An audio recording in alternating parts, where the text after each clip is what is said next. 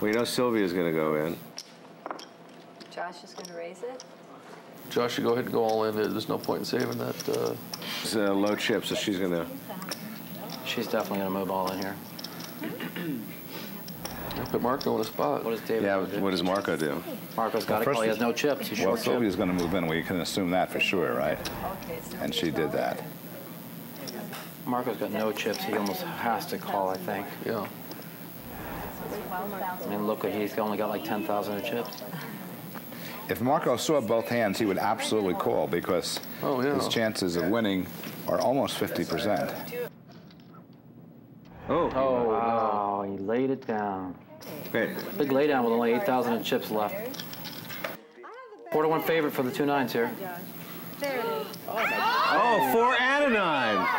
Wow. Wow. You don't see that very often. Nope. If they had money in front of them Dead now. a four. Now it's about a 50 to 1 uh, favorite. Whoa. Last card? That only happens about one out of a 100 times, by the way, where both pairs flop a set. The jack, and the three nines are gonna win. Wow. Double up. This is how you do it. Now, it turned out that Marco made a very good fold, as it turned out. Yeah, but I don't know if I could have with that little amount of chips. What do you think, Tom? No, no way. No way. We Yeah. both would have gone all in there. So you're saying set over set is very rare. So if you flop a set, you got to figure the odds are nobody else has a set. All right.